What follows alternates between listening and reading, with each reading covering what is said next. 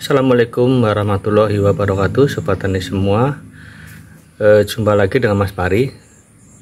E, Di pagi hari ini kita melakukan kegiatan Pemakingan atau pengepakan Bibit talas Papua ya.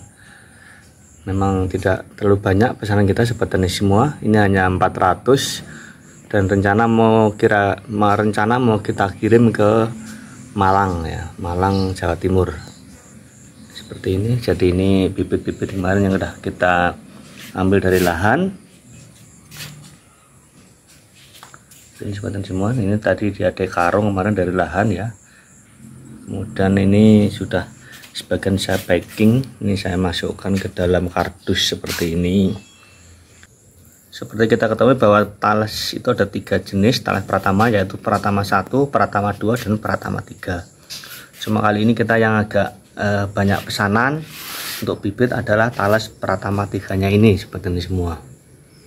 Jadi buat sobat tani yang mau memesan bibit talas pratama tiga bisa hubungi nomor saya ini ya sobat tani semua.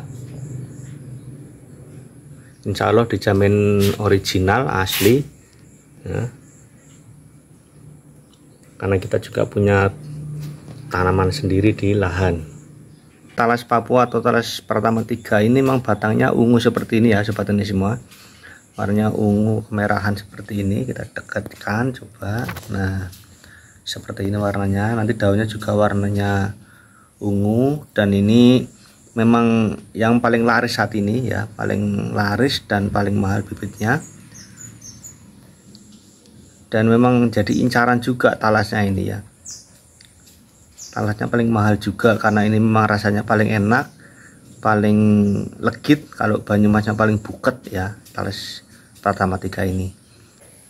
Jadi bibitnya seperti ini sobat Anisima sebelum dipangkas seperti tadi seperti ini bentuknya ya. Nah bibit tanaman-tanaman kecil seperti ini anak-anakannya kita ambili dari indukan lalu kita potong-potong sehingga menjadi seperti tadi.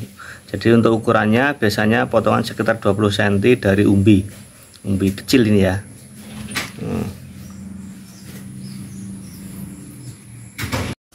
Oke saya kira itu dulu sobat tani semua. Proses pemakingan bibit talas Papua atau bibit talas Pratama 3 yang warnanya ungu seperti ini sampai jumpa di video kami selanjutnya dan salam tani